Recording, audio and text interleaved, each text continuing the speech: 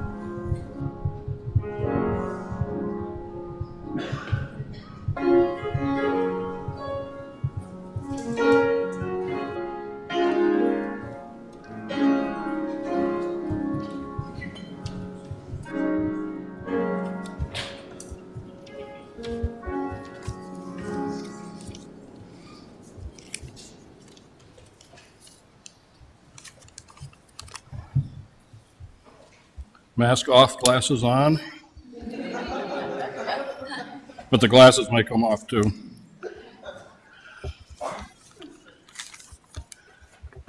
Good morning. Good morning. Welcome to the Unitarian Universalist Congregation of Danbury on a very special Sunday. Today we mark the 200th anniversary of this church, which was organized in the Great Plains section of Danbury on December 9th, 1822, as the first Universalist Society. My name is Doug Parkhurst.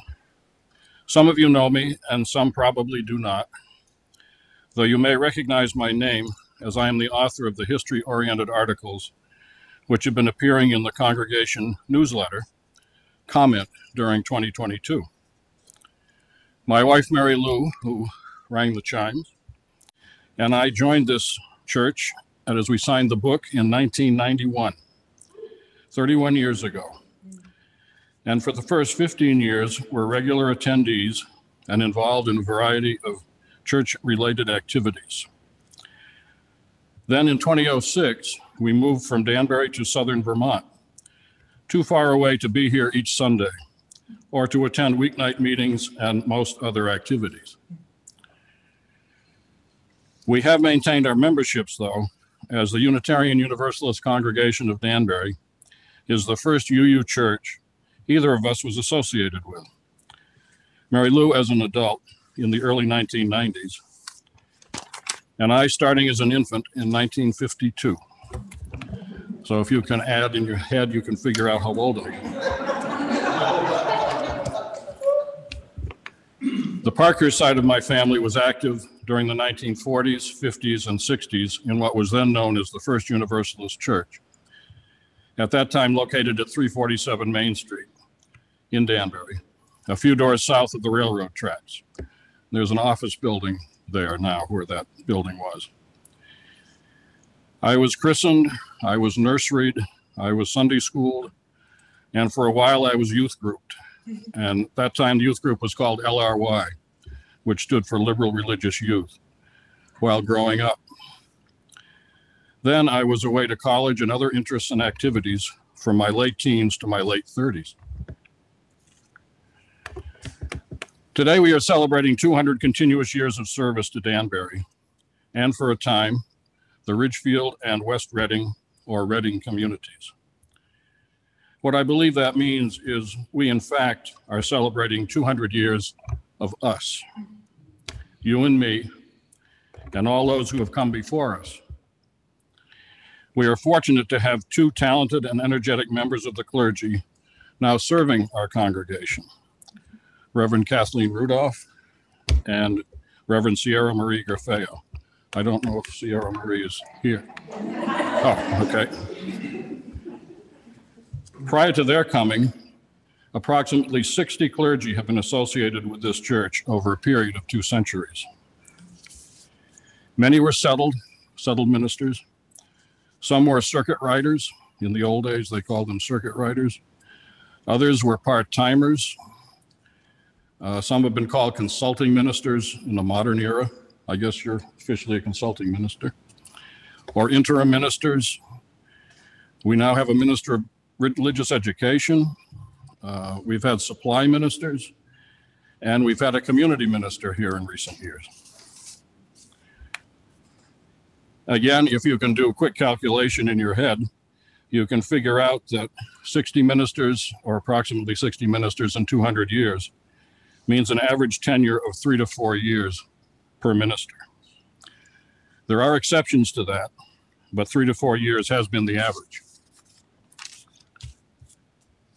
As the clergy have come and gone, faithful lay people have persisted through the good times, the difficult times, through the ups and the downs.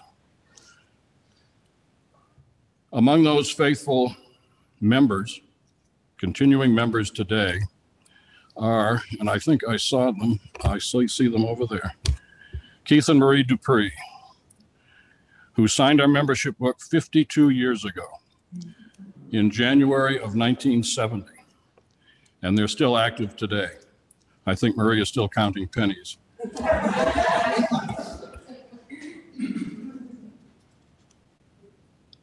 Uh, Mike and Barbara Searing, who moved south several years ago after retirement, signed the book back in 1973. And both of them were active members until they moved away. There are those who have been here approximately four decades, more or less 40 years.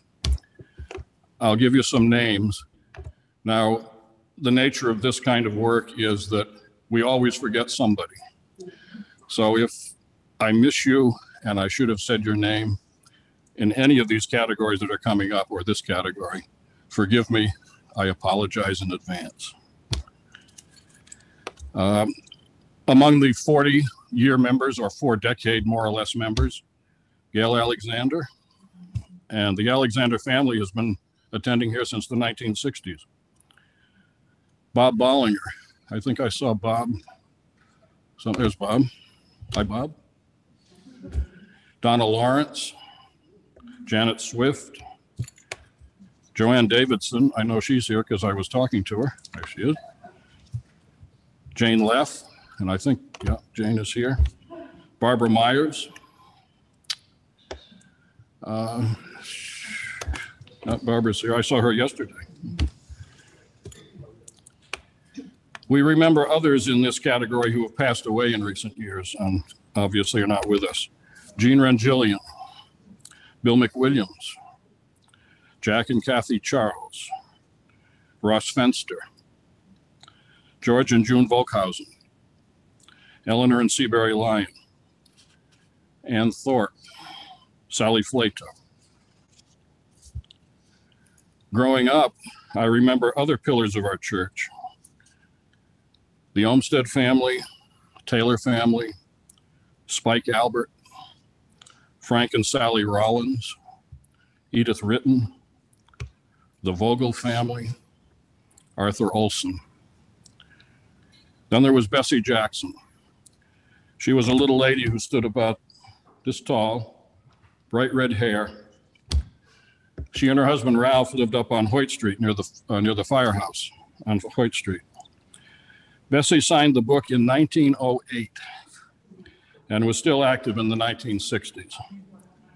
And actually, I believe that she went with the church when it first moved down to West Redding in the early 70s. But she was a, an old lady by then. But I think she did attend for a while in West Redding. Well, do you remember Bessie Jackson? No? A place of honor in our memories is held by Adelaide Graber. This name is probably familiar to many of you. Adelaide Graber was associated with our group for about 70 years. She started with the church about 1891 when the church was located, the building was located on Liberty Street, east of Main in downtown Danbury. She started out as the assistant organist. And starting in 1897, she became the organist and choir director. She held these positions for 64 years until 1961, when she retired at the age of 90. And of course, there are others who go back to the early 20th and the 19th centuries. Their last names were familiar ones in Danbury and in this church. And some of you, there may be people here who are related to these families or descendants. Uh, the last names are Hubble, some of the last names Hubble, Stuckey, Peck, Andrews, Scott, Fanton, Bates, Foster, Dibble, Hurlbut, Ambler. And there are others too. As I said, I'll, I probably missed some.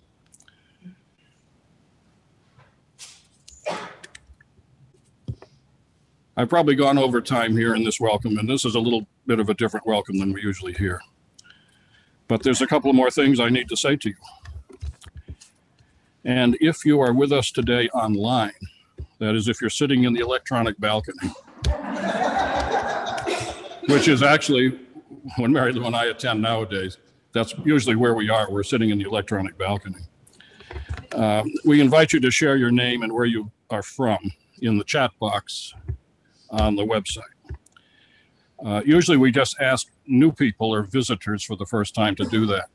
But since this is a really special day, maybe it would be interesting to see where people have come from who are watching and listening and who they are. At the conclusion of today's, of today's service, look for a breakout room where you might continue excuse me, where you might continue your visit. If you are a new visitor in person, please fill out a visitor card near the exit door or the entrance door, if you haven't done so, and consider staying for a few more minutes for coffee and conversation after the service. And I've been given two announcements to read. First of all, today we welcome the Reverend Lauren Smith as our guest speaker. The Reverend Lauren Smith was appointed Director of Stewardship and Development at the Unitarian Universalist Association, or UUA, in February of, uh, February of 2019. And I understand you have forebears from the First Parish in Cambridge, Mass which is a venerable Unitarian heritage church. She oversees the UUA's fundraising efforts, including annual program fund contributions from member con- congregations. The UUA is watching.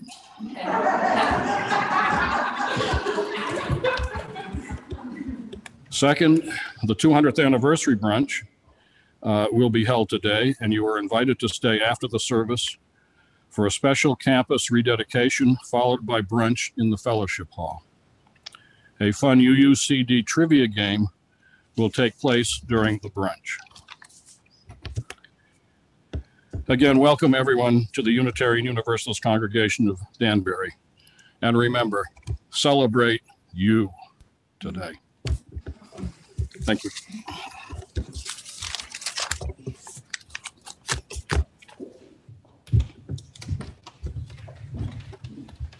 Thank you, Doug. Good morning. Happy anniversary. Good morning online. Let's all just turn way. We don't know, I don't know how many are on there, but we are glad you're with us because this is a very special day and it would not be the same were you not with us today because you too are a part of our community, whether we're in person or you're joining us online. We have one very special announcement um, from our senior high youth. And I think, Jazz, are you going to come and share that announcement? I don't know if any of your cohort's going to join you, so you don't have to stand here all alone. That's a no. Let's make sure this is on. Hello, my name is Jazz Liotta. I am a member of the senior high youth group. Um, I just wanted to come up here and let you guys know that on October 30th, which is two weeks from now, I believe, after the service, we will be hosting a trunk or treat. So I hope you guys all come. It's for all ages. We encourage costumes. They're not mandatory, but definitely recommended. And um, I hope you guys all come. It'll be fun. Thank you, Jazz. Thank you, Senior High Youth, for including us older children in your trunk or treat. That's wonderful. It is so good for us to be together today. I know, in addition to Reverend Lauren Smith, and I want to encourage you if you have an order of service or online, you were sent that in your link, take a look at, uh, at her bio. It is not only interesting, it's actually really inspiring and to know that she is here with us today to bring a message on this very special day. Um, we are honored and we're grateful for your presence. Um, so let's take a really quick moment. First of all, just look around. Just stay in your seats, just kind of look around. Do you see some faces you haven't seen in a while? Faces you have never seen before? Could be. We've got a mix here today. I know we're going to have two people from the community, and I'm not sure that they are here yet. Lorianne Morrissey. Lorianne Morrissey, could you stand for just a moment, Lorianne? Lorianne is from the Dorothy Day Hospitality House, part of our community connections. We are grateful for your presence here with us today. Thank you. Also, um, Nellie Jara, are you here yet? Not yet. From Connecticut Workers Center in Bridgeport will also be with us today. So we want to make sure that we are saying hello not only to our friends and to those maybe we haven't seen in a while, but to those we don't know. So rather than us getting up and moving around, because we're a nice big group today, if you can just take a second, just a second to maybe turn to your right, your left, in front of you, and back of you, just say good morning. I'm glad you're here.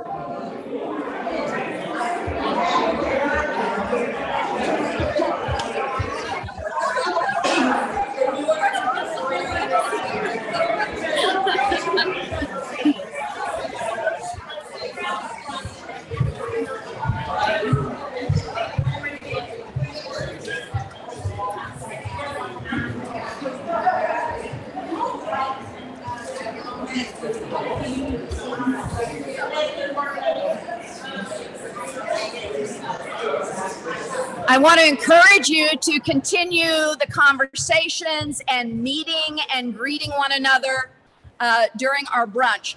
Let me just give you, if you listen, let me give you a little heads up on how it's going to work as soon as the service is over. And once we hear the beautiful postlude from Jerry, all of those except in the setup crew. And you know, if you signed up for setup and I sent you an email, everyone else, I'm going to ask you to join me outside in front of the deck at the cottage for our rededication ceremony.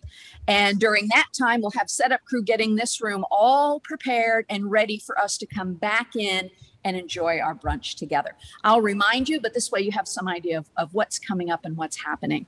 Right now, let's rise in body or spirit as you are able and sing together our hymn of welcome. It is morning has come. It's the very first one, and I can tell you it happens to be the favorite hymn of our infamous Jerry Phelps. So let's raise our voices and sing together Morning Has Come. Morning has come, arise and greet the day. Dance with joy and sing a song of gladness. The light of hope here shines upon each face. May it bring faith to guide our journey home.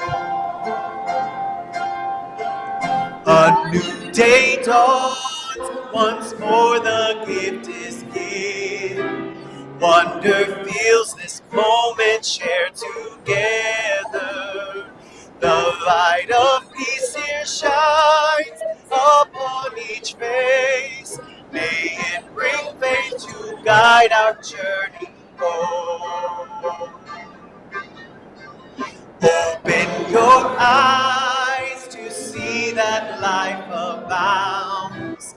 Open hearts to welcome among us. The light of love here shines upon each face. May it bring faith to guide our journey home. Thank you. You may be seated. I'd like to invite the president of our board of trustees, Margaret Henderson, to come and light our chalice this morning. And as Margaret does that, I will lead us in the chalice lighting affirmation. You can see the words printed on the screen. It's also in the order of service. And we are going to wait until Margaret actually lights the chalice and then share these words together. And Reverend Kathleen promised to do my favorite thing and emphasize the first word of the chalice light. That's where we're waiting.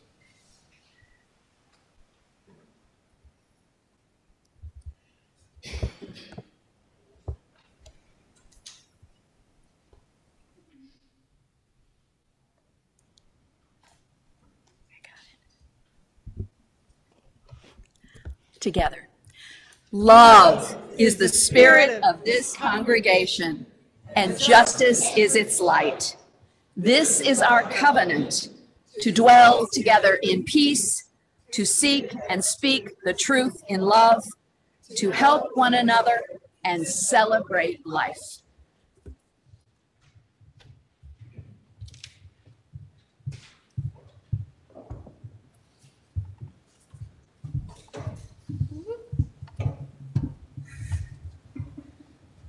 All right, let's say together our children's affirmation. We are Unitarian Universalists. We are people with open minds, loving hearts, and helping hands. We care for the earth and each other. I want to invite my helpers for the story forward.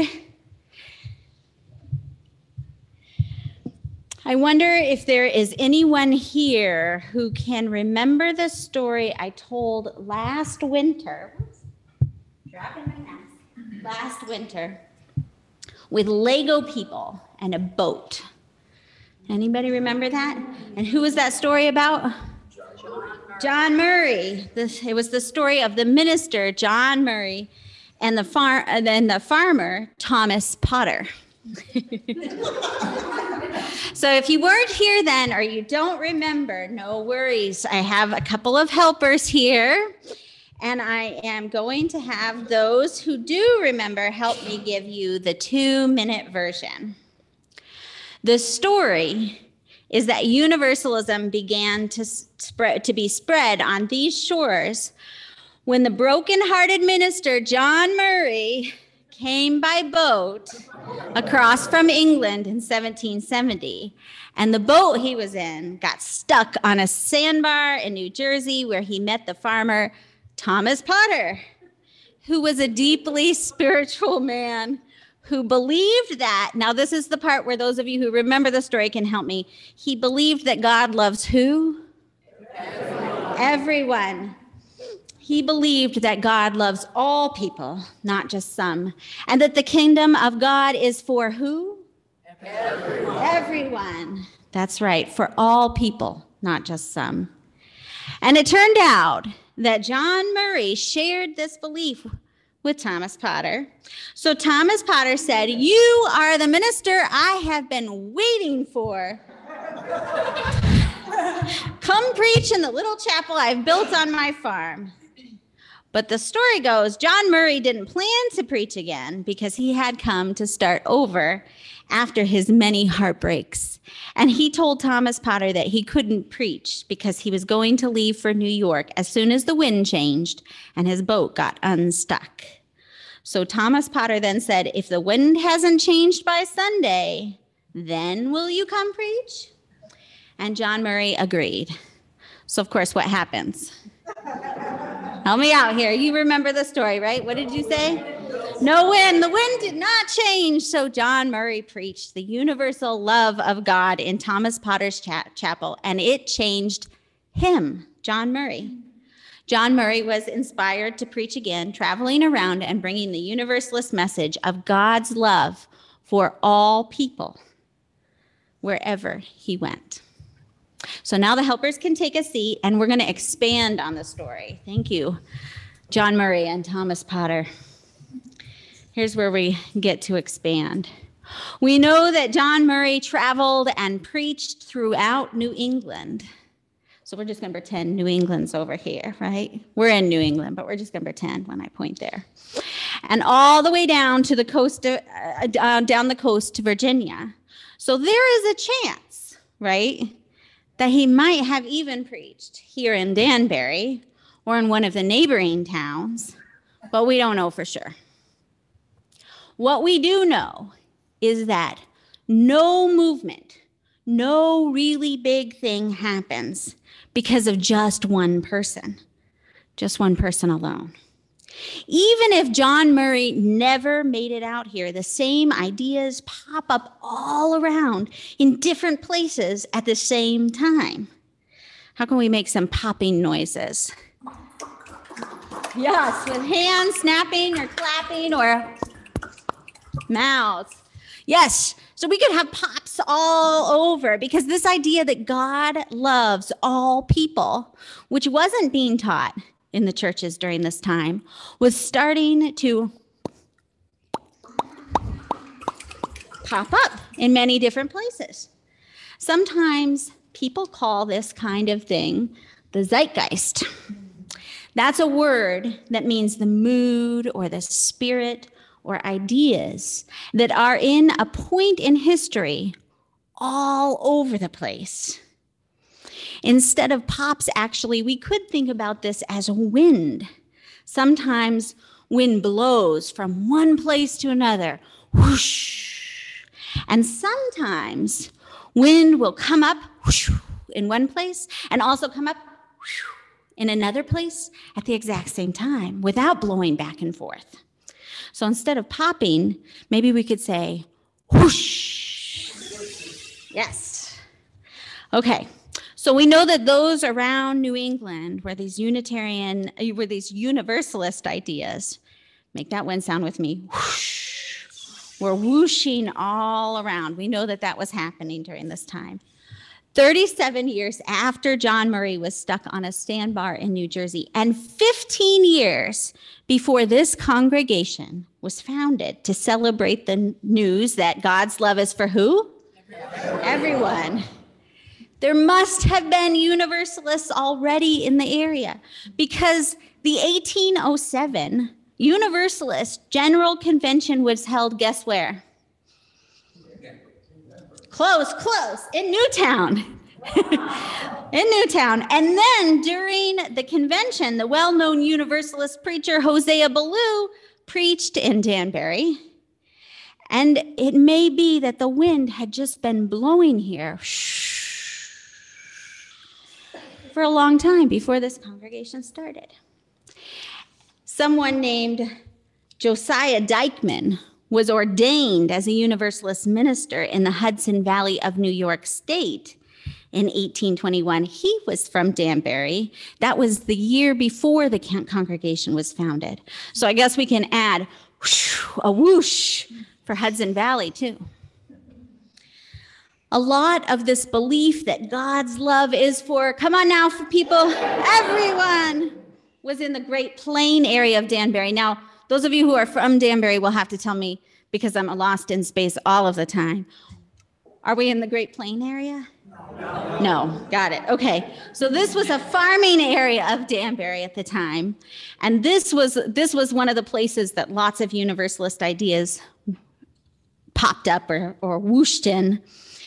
And on December 9th, 1822, in the Great Plain, this congregation was formed by 12 people who started meeting in homes and barns and a schoolhouse and maybe even outside sometimes. But you know, even though the wind was blowing, that didn't mean that universalism was accepted. There's even a story of one person who, at first, before he became a proud universalist, would travel through swamps and fields so his neighbors and friends wouldn't see him going to church because they knew that he they would he knew that they wouldn't approve. Many people believed then, just as some people believe now, that teaching that God's love is for everyone. That the kingdom of God is for everyone would be a dangerous idea because, for one thing, they say if you aren't afraid of God, what's going to make you behave in the right ways? Yet in this congregation, we understand even now that knowing we are loved, knowing that we are loved in a way that can never be taken from us, knowing that we are beloved, means that we also know that everyone else is too. And that makes it the most natural thing, the most natural thing in the world to want to be good to one another, to want to make this world a better place. This legacy from the founding of this congregation carries on in this way through today to today. And this ends the story. Let's sing together this little light of mine. And anybody who wants to, any of the kids who want to come outside can come downstairs with me and we'll go through that downstairs together. light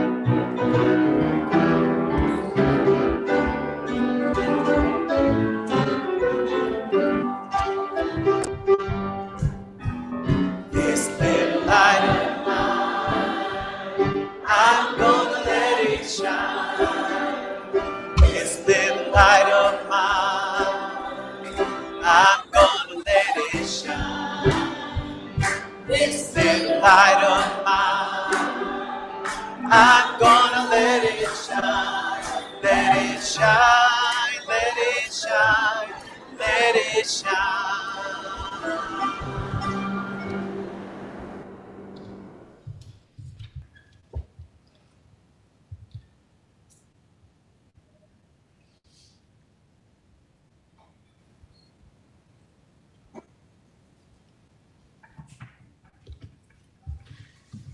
Let's take a moment to be in silence together, to hold those joys, to hold whatever sorrows and concerns you have brought here with you in this moment.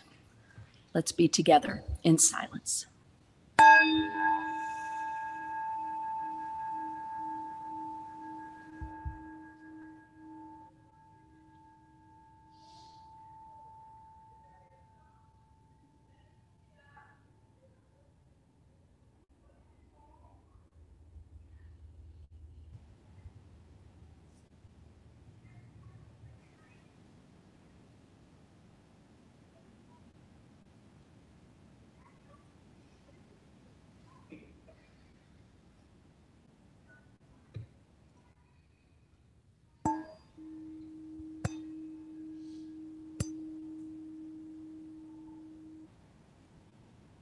in this spirit of reflection, let us sing together. I know this rose will open. The words will be right up there on the screen. We're going to sing it two times through.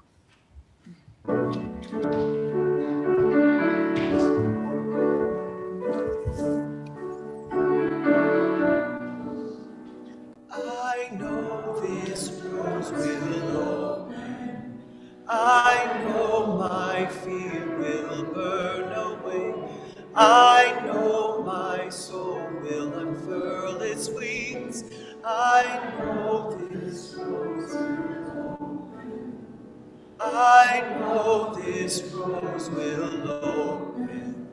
I know my fear will burn away. I know my soul will unfurl its wings. I know this rose will open.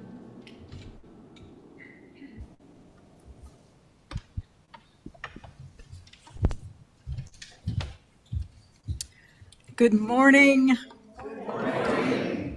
It is so good to be with you today as you celebrate your 200th anniversary. It's thrilling, and I'm really honored to have been invited. Thank you so much.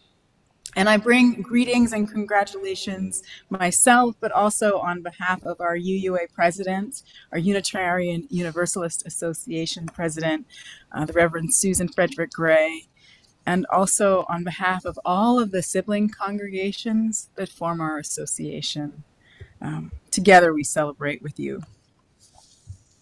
This morning's service was inspired by my colleague, our colleague, the Reverend Susan Moran.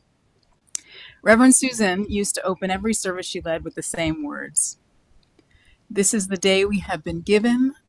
Let us rejoice and be glad in it. Susan's choice was especially poignant because she'd been through quite a lot. When I met her, her husband had been dead for just over a year, the victim of a sudden, unexpected heart attack. She was raising her two young girls alone and navigating her own expansive grief. And yet she began, always with gratitude and a call to joy, her own variation on the words of the 118th Psalm. This is the day we have been given. Let us rejoice and be glad in it. So, in that spirit, I offer you as the opening reading uh, a poem from Billy Collins. This is Days. Each one is a gift, no doubt, mysteriously placed in your waking hand or set upon your forehead moments before you open your eyes. Today begins cold and bright, the ground heavy with snow and the thick masonry of ice, the sun glinting off the turrets of clouds. Through the calm eye of the window, everything is in its place, but so precariously. This day might be resting somehow on the one before it all the days of the past stacked high like the impossible tower of dishes entertainers used to build on stage. No wonder you find yourself perched on the top of a tall ladder, hoping to add one more. Just another Wednesday, you whisper. Then, holding your breath, place this cup on yesterday's saucer without the slightest clink.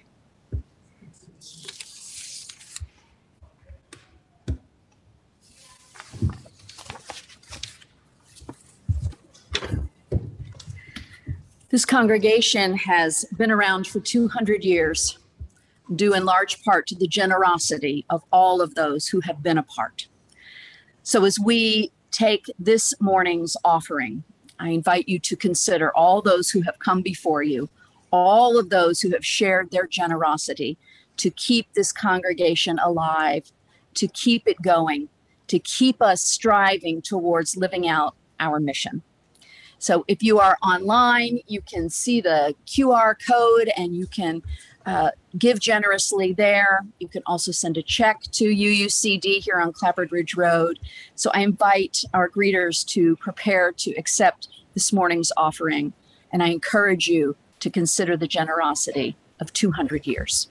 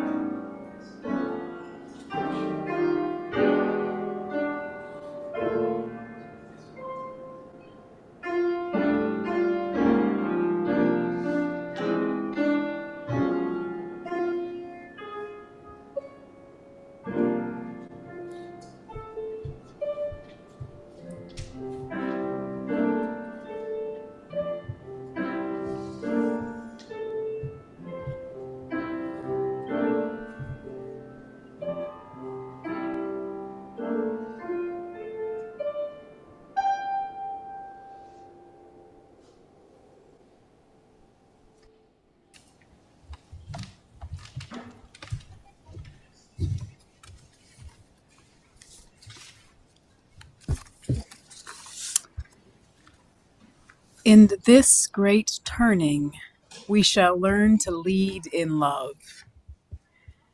That's a line I learned, uh, a line from a song I learned one summer out on Star Island, our beautiful Unitarian Universalist Conference Center off the coast of New Hampshire and Maine. The spirit of the song and the harmony break open on the words, It is time now. It is time now that we thrive. It is time now, and what a time to be alive. In this great turning, we shall learn to lead in love. In this great turning, we shall learn to lead in love. What a time to be alive. What a time to be a religious community entering a fresh century of its ministry. Like many of you, I stay abreast of current events. Over the past few years, I have watched a pandemic explode in our midst. I saw long-standing racial injustice burst into public consciousness and then continue unabated and then expand. I saw the nation's capital overrun by insurrectionists, have witnessed threats to democracy at home and abroad that shake me to my core. Vladimir Putin's re- reckless invasion of Ukraine and relentless attacks on voting rights here in the United States. Assaults on LGBTQ people have reached fever pitch, and every summer, my dear home state of California has burned. What a time to be alive. In such a time, what does it mean to be a religious community? What does it mean to lead in love? My daughter, Aaliyah, who's now seven, offered me some wise instruction on this subject when she was just three years old. Aaliyah is a sunny, loving person, and she also has always had a singular way of speaking. When she was small, she would latch onto certain words and infuse them with her own shades of meaning. For a while, she was especially fond of the word choice.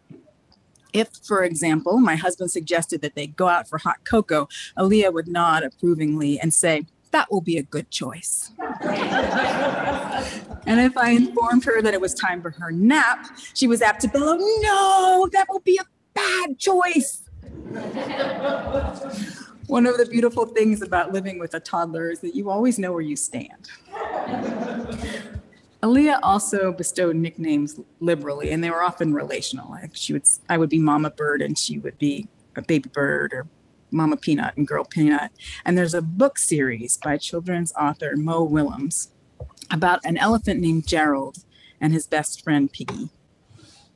After her first encounter with one of these books, Aaliyah decided that I should henceforth be known as Gerald Princess instead of Mama, and she would like to be known as Piggy Chickworm. this is all very important backstory if you are to understand the conversation that took place between us one morning before we sat down to breakfast. Aaliyah was sitting at the dining room table and she turned to me and said, I love you, Gerald Princess and I love our whole family. I was singularly stressed that morning, but I looked back at her and I just melted. I love you too, Piggy Chickworm. And I love our whole family too. That will be a good choice, said Aaliyah. and then she paused and she pointed to a blank piece of paper on the table and said, Let's put our love choices right there. And then she did, tapping the paper with her fingertips and saying, Put, put, put, put, put. She said, Let's put our love choices right there. And then she did. Put, put, put, put, put. My daughter's words were a clear teaching for me about leadership, about ministry, and love. Sometimes it's so much simpler than we make it faithful leadership, faithful ministry, whether by a person or a congregation or a community, requires that we choose a path of love, a path with heart. Effective leadership demands that we manifest that love in wise and concrete ways, that we choose to give our love where it's needed. This is a delicate moment in Unitarian Universalism. A time of great risk and opportunities for faith communities that have been strained to near breaking by the challenges of the last few years. But congregations matter. It matters that faith communities are here to shelter all of us who have been buffeted by life and who still want to make the world a better place. All of us who need comfort and inspiration to live fully into our days. You matter. You, Unitarian Universalist congregation of Danbury, matter. I have read your history. There is a lot of wisdom in this community about resilience and perseverance. There is a lot of wisdom about what it means to co create a culture of mutual care and support. You know a lot about resilience, and you clearly know a lot about love. This year, 2022, the 200th anniversary of your founding, is also a critical year in society. It's an election year in a time of massive threats to people, communities, and the planet. Our democratic institutions shelter the well being and opportunity of millions of Americans and impact the lives of people all over the world. Our democratic institutions produce policy that can protect or destroy the natural world. I know your mission uh, mentions sustainability, and that's beautiful to me. Let's put our love choices where it matters into the communities and into the institutions and into the earth that holds us. Leadership and love are first and foremost a choice, a decision to accept the circumstances we have been handed, a decision to respond to those circumstances with imagination and care. A few years ago, my husband Chris and I went to see the Broadway show Hamilton in New York, thanks to the generosity of my brother and my sister in law. Best Christmas present ever. There's a line in that show that becomes a motif. Angelica Schuyler sings it first. She's the daughter of a wealthy, influential man in colonial America, and she is captivated by the revolution. She and her sisters, Eliza and Peggy, enter the stage. Eliza and Peggy sing about the danger in the city, the chaos associated with civil unrest and impending war. But Angelica sings, Look around. Look around, look around at how lucky we are to be alive right now. History is happening in Manhattan. It takes a special kind of spirit to look around in a time of danger and uncertainty and see opportunity and feel calling. We're at a watershed moment in our faith and in history. We're at an inflection point, a crossroads. Our choices will determine our future. Your choices will determine our future. Not so much your choices about how to think, but your choices about how to be and act. The choices you make about how to show up for and with others. The choice to listen deeply and share honestly, to seek and speak the truth in love. The choice to restore relationships and reconstitute communities. The choice to be global citizens. This moment demands that you, that we move fully into the prophetic and pastoral role of the church. That we accept the gifts of this day, even the most painful gifts, and choose to lead in love. You begin by getting clear about what you value. I value strong communities resilient communities capable of facing challenges with resourcefulness, fidelity, collaboration, creativity, and joy. I value the power of strong communities to hold and heal people and call us forward towards service and connection. You are crossing the threshold of a fresh century. This is a precious moment for celebration and for reflection and for renewal. This time of receding pandemic and changing ministry is an opportunity to rediscover and remember your own heart. Why are you here? Who are you in the world now, for one another, and for your communities? Who will you be? This congregation was gathered 200 years ago. It was formed to be a place of inclusion and exploration, a spiritual home for free hearts and open minds. It was founded in a spirit of love and expansive welcome, rooted in the heart of your universalist beginnings.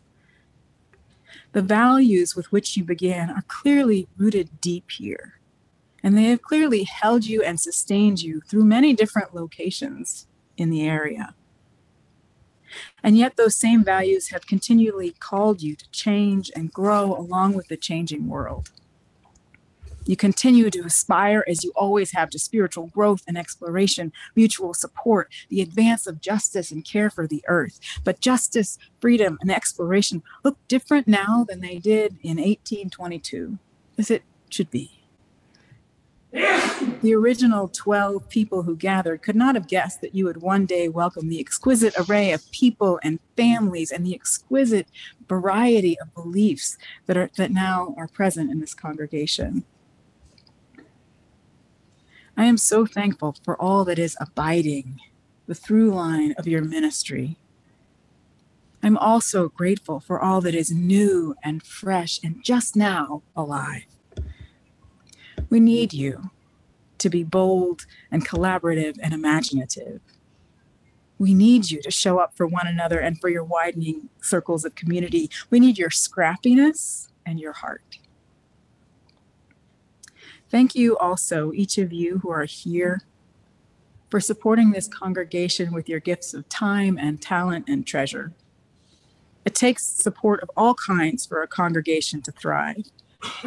And if each person contributes what they can with an open heart, it will be enough my role is at the UUA at the UUA is as a fundraiser. So I need to say this. I invite generosity to our association and its priorities, but everywhere I go, I tell people to give to their congregations first.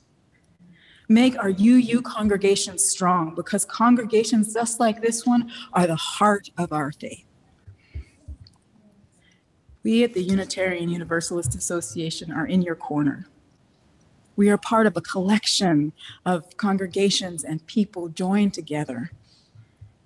The UUA is here to partner with you and amplify the gifts of your ministry.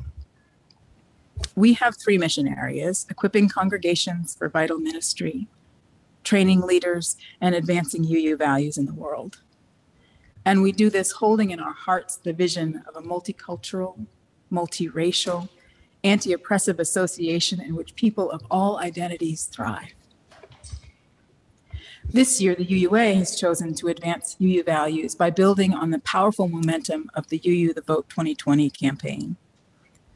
The ability to make progress on the issues about which we care deeply climate justice, voting rights, human rights for immigrants, LGBTQ rights, reproductive rights hinge significantly on the functioning of local and state and federal government. In the UU the Vote 2020 campaign, Unitarian Universalists all over the country built relationships, made phone calls, wrote letters. UUs made over 3 million contacts with prospective voters to get out the vote, register and educate people, and engage in values based conversations. Reverend Kathleen mentioned to me that this congregation is engaged in elections work, that you have been writing postcards for more than one election cycle to inspire folks to turn out, and that you and and that you have done so um, connected with UU the Vote and just out of your own priorities. I can tell you mm-hmm. from experience how much this way of showing up matters. My family lived in New Hampshire for eight years, and New Hampshire, as you may know, is one of the is the home of the nation's first primary, which means that we get a lot of attention from candidates candidates spoke at our church and local coffee. You could, you know, just sort of run into them all over the place in town. And we were flooded with mailers, most of, most of which went straight into the recycling bin. But not the handwritten postcard from a woman in Montana, an older woman with slanted handwriting, whose card I stuck to our refrigerator. It moved me that someone cared enough about our democracy to do something personal. As UUA President Susan Frederick Gray says, work like this is faithful moral action. We are doing at the national level what you aspire to do here organize, gather together to make a difference, build skills, and grow relationships. We, all of us, need to use every tool we have to protect freedom for all people, to express our affirmation of human worth and dignity by co creating societies and communities in which all people can thrive. We do this together as an act of love, as an expression of gratitude for the sanctity and the beauty of life. What a day we have been given. What a time to be alive. Not long ago, I shared a children's book called The Journey with a group of UU kids. My first ministry was as a part time religious educator, and I cherish that. It's the story of a refugee family fleeing violence and searching for a safe new home. The plot of the story is pretty simple. A mother takes her children and flees from a war zone. They travel in secret, crossing borders, leaving pets and belongings behind, interacting with smugglers and border guards. It's a treacherous journey with many, many twists and turns. It reminded me of all the twists and turns I, I, I read in your, your history. so many different things that you all faced and moved through. At the end of the last boat ride, the mother spots land. And as the story ends, one of the children looks up and sees a flock of migrating birds. She says, I hope one day, like those birds, we will find a new home, a home where we can be safe and begin our story again. I closed the book, and one of the kids in the class hollered out, It's a cliffhanger! exactly, I said. And what is a cliffhanger? It's a story where you get to make the end yourself. Another child child chimed in. They were brilliant. True, I replied. And that is a lot like life. And that's one of the reasons that faith communities, that congregations like this one exist. There are stories going on all around us. Stories about the earth and people, and the endings have not yet been determined. So we come together to learn to be the people we need to be so we can help these stories end with love and fairness. We come together to learn how to be braver and kinder and wiser. We come th- when, when hard things in the world break our hearts and we need consolation and encouragement. We give of ourselves to make our faith strong and vital. Thank you for all the ways you strengthen this congregation and thank you for all the ways this congregation strengthens Unitarian Universalism and our shared ministry in the world. What a day we have been given. Look around. History is happening. Let's put our love choices right there. It's time to thrive. Today and always especially in the new century that awaits you. May it be so. Blessed be, and amen.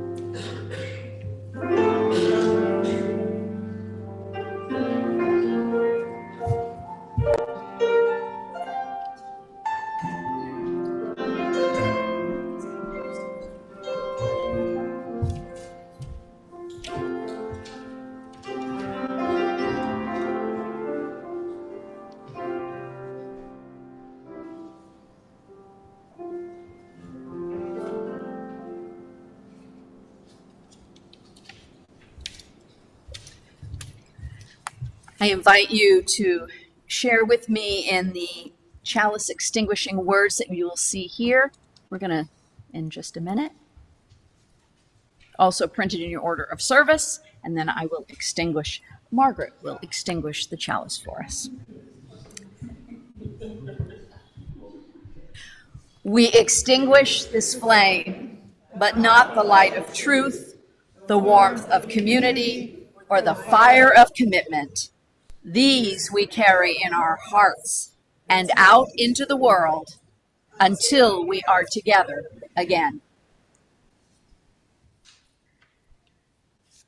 Now, Reverend Lauren chose this uh, hymn of celebration, and I told you she also chose the uh, the hymn of welcome, which was Jerry's favorite, and this one happens to be my favorite. So thank you for that. Uh, so let's rise in body or spirit. At home, if you're watching, maybe you want to rise where you are because this song is worth our attention, our respect, the beautiful lilt of our voices. Let's sing together as a community celebrating 200 years. Come and go with me. It is number 1018 in the soft hymnal.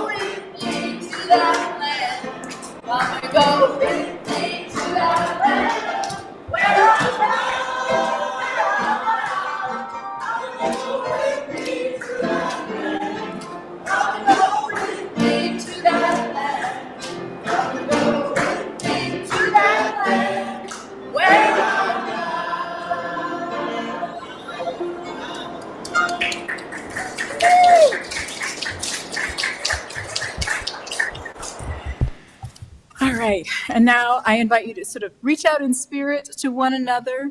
You know, I used to invite people to take hands, but extend your care to your right and your left and in front and behind you and out of the walls of this building. And I offer you as benediction uh, the words of the Reverend Barbara Pescan. Ministers and congregations call ourselves and each other closer to the edge, where reason and risk meet. This edge is in us. It is the edge on the path that leads us out of sacred space with the holy in us. It is the edge from which we leap again and again into the unknown with greater loving and trust. This is the edge on which we walk into the world, which needs all our voices, all our passion and healing, all our love to be whole. May you go out into the waiting day, held by the love and the peace of this place. May you go out into the waiting day, bringing the love and the peace of this place out into the world as you move through it. Go in love this day and go in peace. Amen. Shalom. Salam. Amen. Amen. Blessed be Blessed be. each and all. Namaste.